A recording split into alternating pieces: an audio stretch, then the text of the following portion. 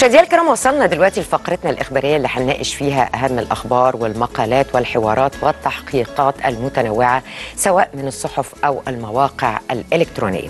بنبتدي أول أخبارنا بالرئيس عبد الفتاح السيسي استقبل أمس بقصر الاتحادية الرئيس سلفا كير ميارديت رئيس جنوب السودان حيث أقيمت مراسم الاستقبال الرسمية وتم استعراض حرس الشرف وعزف السلامين الوطنيين للبلدين.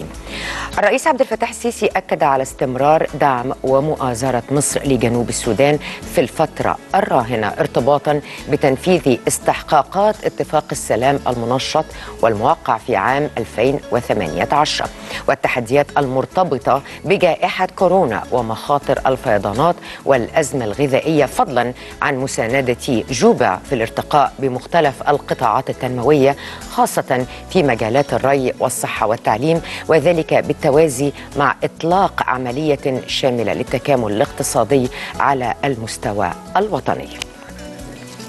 معنا الآن على الهاتف الأستاذ زكريا عثمان المحلل السياسي وخبير العلاقات الدولية بالأهرام وكان من المفترض أنه يكون معنا في الاستوديو لكن آه لازدحام الطريق هو آه لسه ما قدرش يوصل لمدينة الإنتاج.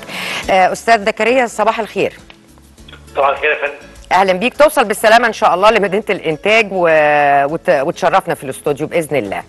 ربنا يسلمك فندم. الله. شكرا جدا لذوقك. الله يخليك. أستاذ زكريا يعني أنا كنت بقرأ خبر استقبال السيد الرئيس عبد الفتاح السيسي أمس لرئيس جنوب السودان والسيد سلفا كير ميارديت.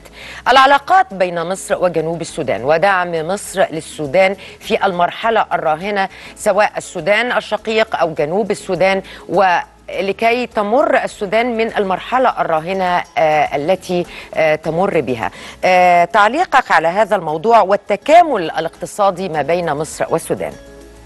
يعني في الحقيقة دعيني أقول العلاقات الثنائية بين مصر وجنوب السودان هي علاقات أخوية وشائج صداقية عميقة وبالتالي جنوب السودان يعتبر جزء يتجزأ من الأمن القومي المصري.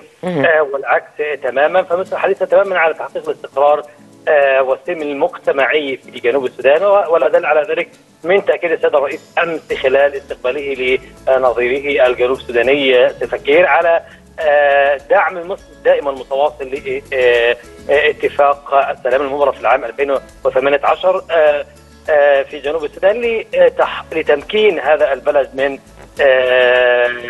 تحقيق الاستقرار والسلم وللتحرك صوب الحركه التنمويه التي يمكن أن تنهض بها البلاد إلى مزيد من التقدم.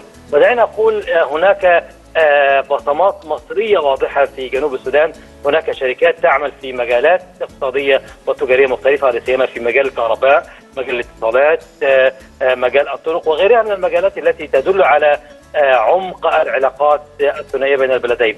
دعينا أقول هناك العديد من الملفات ولا سيما العلاقات الثنائية وكذلك أيضا القضايا الإقليمية سواء في شرق أفريقيا أو في القرن الإفريقي وغيرها من القضايا الملحة والهامة التي تجاذب الزعيمان أمس